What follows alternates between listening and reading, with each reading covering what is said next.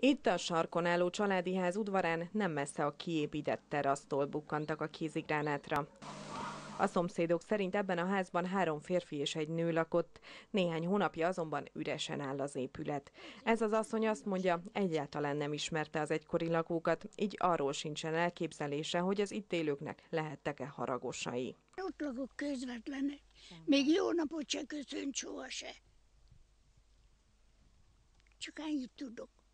Aztán én meg nem néztem azt, hogy na hát most ki megy hozzá, vagy nem igen ment hozzá senki. A rendőrséget a tulajdonos ismerőse értesítette az udvaron ez ideig szokatlan látvány miatt. A szomszédok úgy látták, a férfi gyakran járt ehhez a házhoz, ő végezte el a karbantartási munkákat, és naponta szellőztette is az épületet. Éles kézigránátról lehet szó. A főkapitányság szóvivője azt mondja, az ügyel kapcsolatban fennáll a bűncselekmény gyanúja. Elképzelhető ugyanis, hogy szándékosan rakta valaki a kézigránátot az Úrhidai ház udvarára.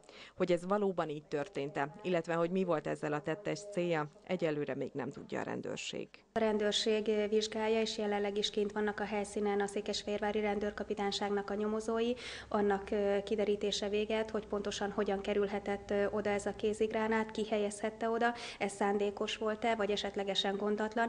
A Dózsa György út egy részét lezárta a rendőrség, és 8 ház 15 lakójának kellett elhagynia otthonát addig, amíg a helyszínelők begyűjtötték a bizonyítékokat, és a tűzszerészek újra biztonságossá tették a környéket. A szakemberek úgy döntöttek, hogy a helyszínen semmisítik meg a robbanó szerkezetet.